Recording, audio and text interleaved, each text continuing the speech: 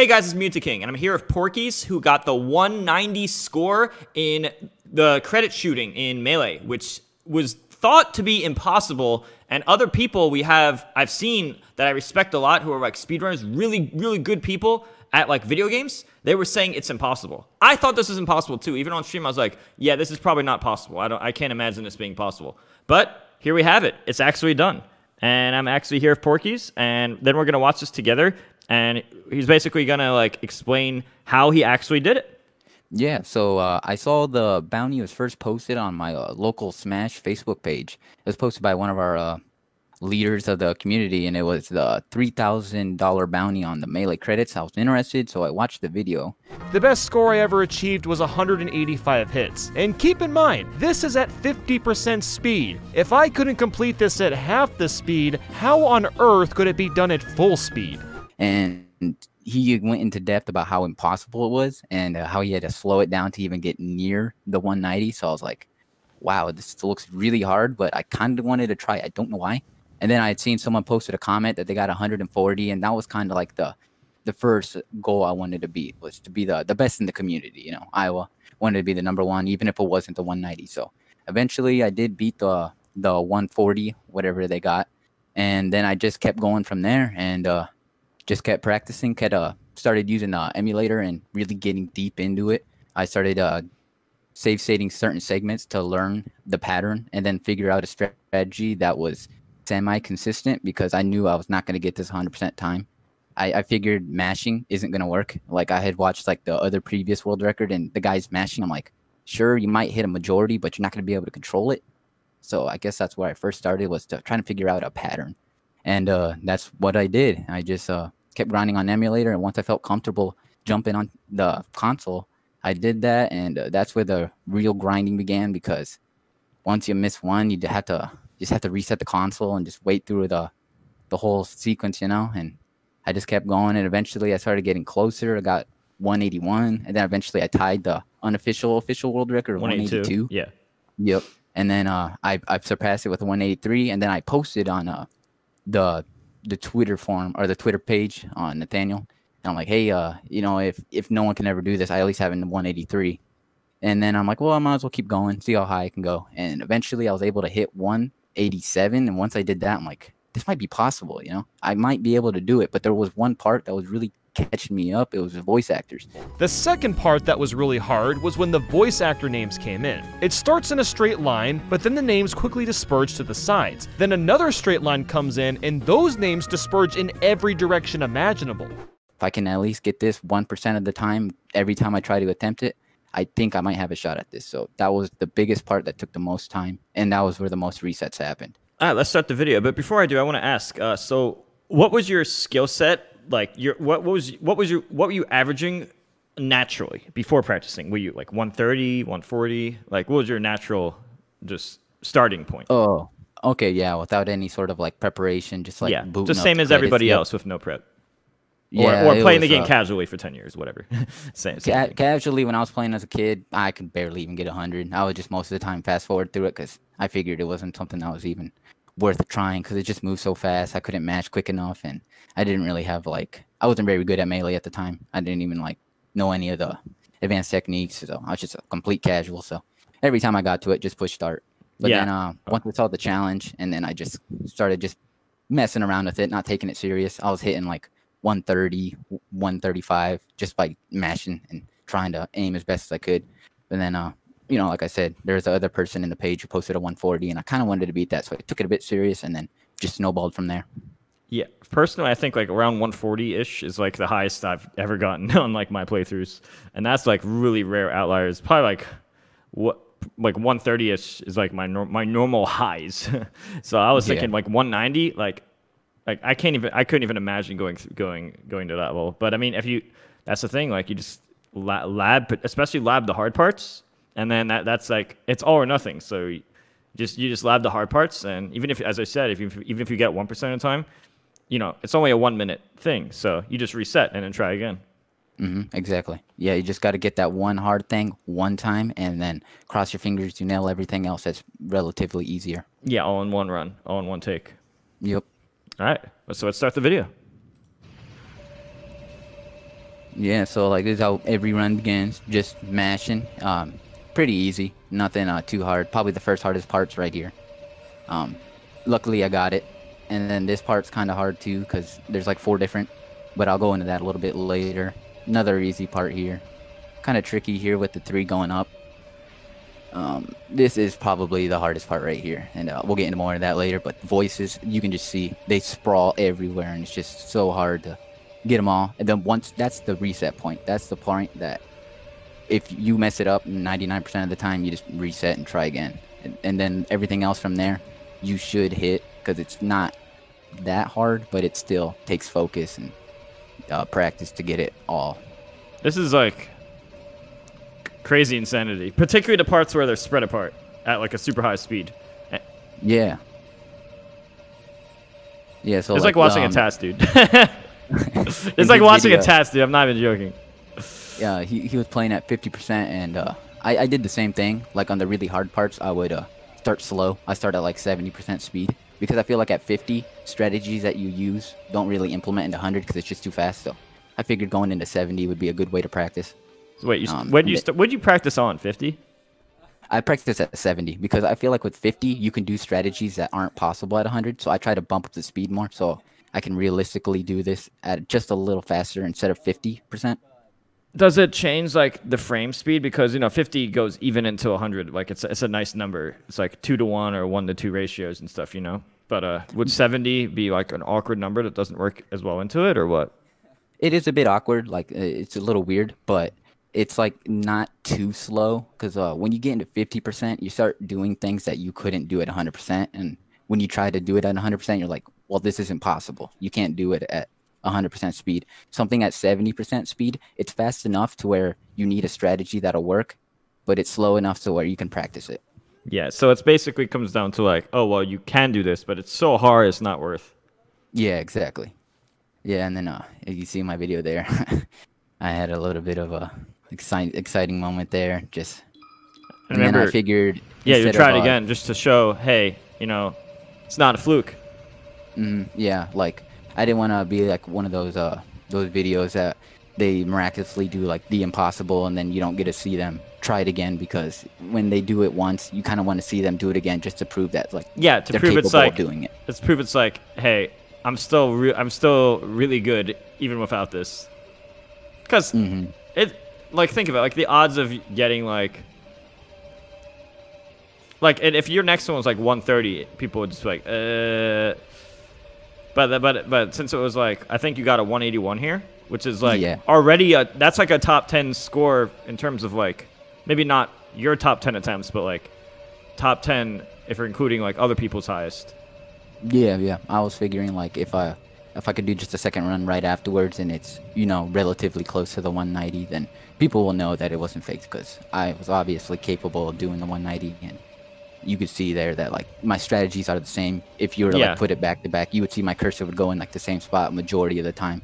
Unless yeah. I like missed it. But yeah, that's what the idea was with the second attempt. Even though it wasn't perfect, that was kind of like the point, was just to show that I know what I'm doing. Yeah. And 181 here, that's actually like the highest base like from a week ago apparently it was like a 182 so that's that's already almost as good as it as it was uh, like oh like two weeks ago in the past so uh-huh. now i'm gonna sh- i want to do this over but i want to see it on one fourth or do you think it'd be more interesting on 50% speed as you practiced or 25% speed um, i can i can I, actually do 25% 50% or 75% which is similar to what you practiced i'd say uh do 50% until like uh uh, I'll, I'll, tell you when to slow it down because then there'll be more intricate parts. But 50% will work for a majority of it because it's not that like there's not that many details. Okay. Yeah, so we could do 50 here, and then you can uh, go ahead and play. First part's really easy. You just mash, um, and then if any get any get past you, just adjust the cursor to hit it. Like you see that one on the left started getting by me. And then this part, just hold up, and then you move to your right, and they all run into the cursor. Really easy. Yeah. That one floating over there, hit it and just hold right. Keep holding right, and then one will run into you. That one, uh, that one's just aiming, kind of hard. And then if you hold a little bit up here, you'll hit it. And then if you want to slow down this part, it's kind of hard. You want me to slow this down? Yeah, a little, little okay. bit. Okay, I'll go to 25% on this part.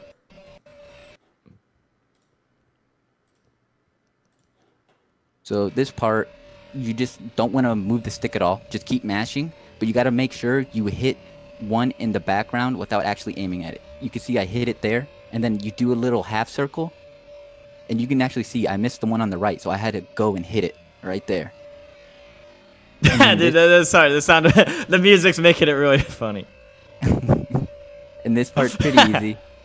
So you just uh, go neutral up, Up, down. neutral up, Oh yeah, Yep, neutral. And then you just, yep, aim right here, and then put your stick back in neutral to hit the center, and then you go up or down, whichever one. And then this part's pretty easy. Don't move the stick, just time the A button, the aim, the A button right there. Okay, I want to pause and ask This something real quick. So you said Yeah. the stick in neutral. So what happens normally if you go like down to the uh, down left, for example, is one of your strategies to release the stick to neutral s- a- as an aiming technique?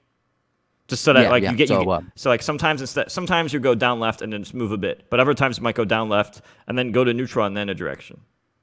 hmm Yeah. So what I do is, uh, if I know that the the names that are behind the one I'm hitting would get hit if I didn't touch the stick at all, I put it back in neutral, and then um, I figure out where from there do I need to move the stick. I don't like moving from, let's say, like the the lower left corner to the upper right Yeah. because that's like it's taking some of the the accuracy out. You want to just like put your stick back in neutral and then give it a bit of a tilt.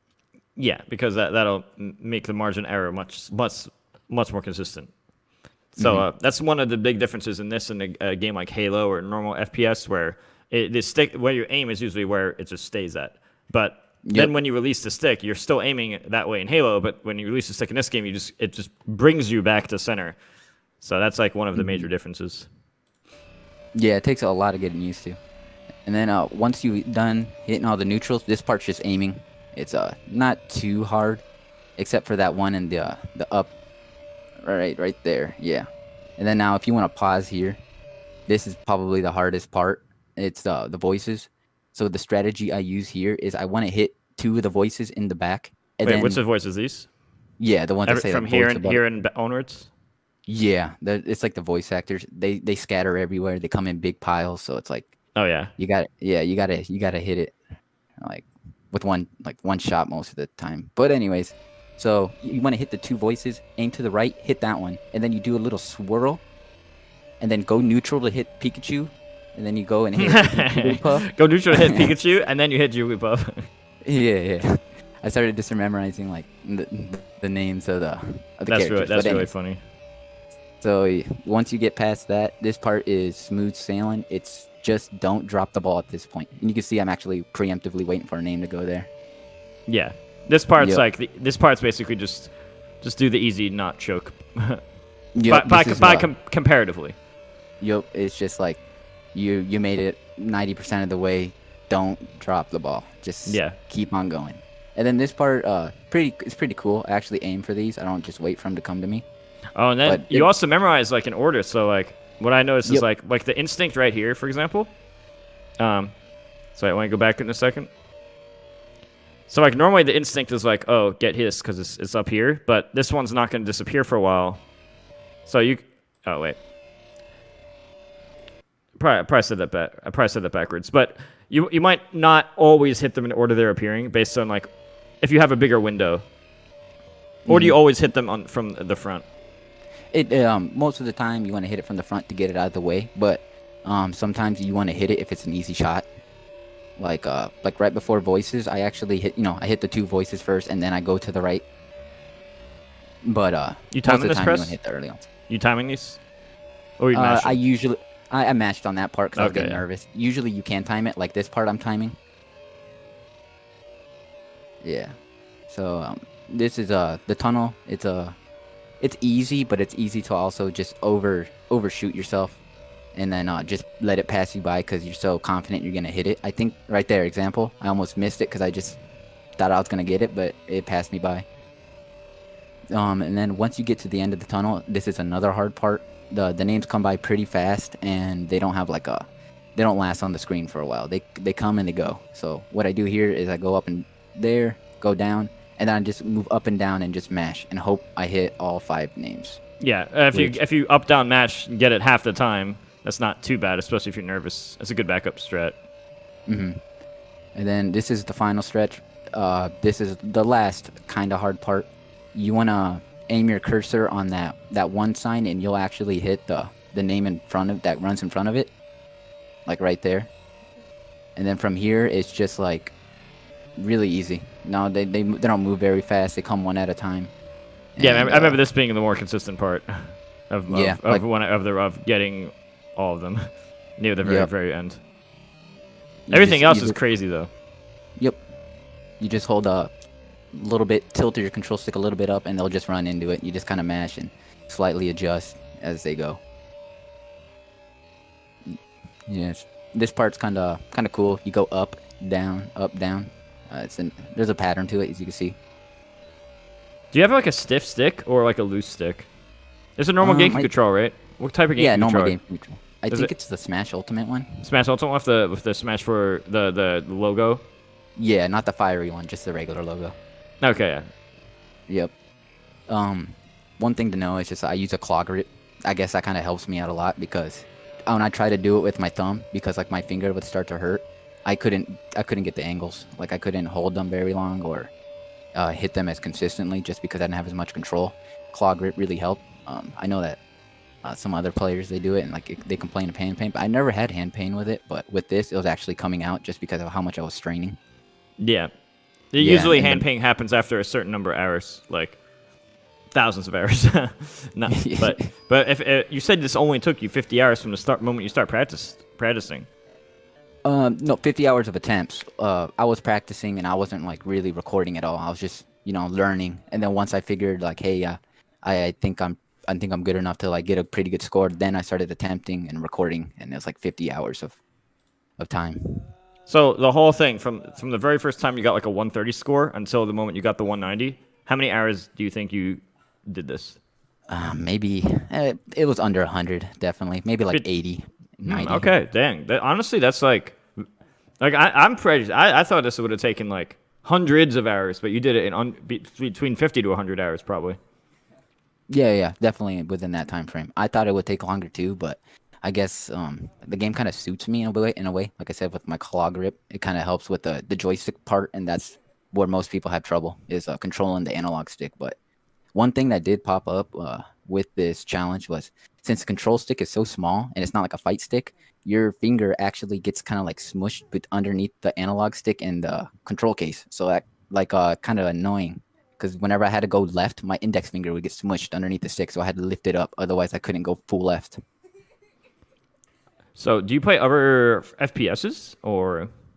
No, I don't play any other ones. So you've uh, never practiced doing anything similar to this in, in your life? Uh, not first-person shooters, but there's those uh, you know, those Japanese sh- like bullet hell games, you know, where they just have so many spheres and you have to like slowly maneuver them and like shoot a thousand bullets at the boss. That I played those Touhou? games before. So. Yeah, Wait, something that, like it's, that. That's avoiding though. Yeah, it's, it's avoiding, but like that still requires like really fine movement. Otherwise, you you die. You know. Yeah, I never actually played Yeah. them, but I've but I've seen put, I've seen YouTube videos and I've seen other people play them. Mhm, That Yeah, makes me kind of want to try them. Yeah, It's- they're really fun. It's but uh, it's hella memorizing though. I feel like it's more memori- I feel like it's more memorizing than it is reacting at like on the hardest ones. Oh yeah, it's just uh, memorize the patterns and where the holes are, so you Yeah. can squeeze your way through it. And that's basically what this was: is memorize the patterns and then execute. All right. So Yeah. there, so there we have it. Uh, thank thank you very much, Porkyz, for joining. Uh, Mm, thanks for having me. Yeah, guys, don't forget to give him a follow. He's going to be linked in the YouTube description below. And with that said, I really hope you guys enjoyed this video. Uh, I honestly, I'm surprised. I didn't think I'd ever be making this video. Like, I, I the moment I saw that it, this was at like, wait, the 190 happened. Like, my first instinct was he cheated.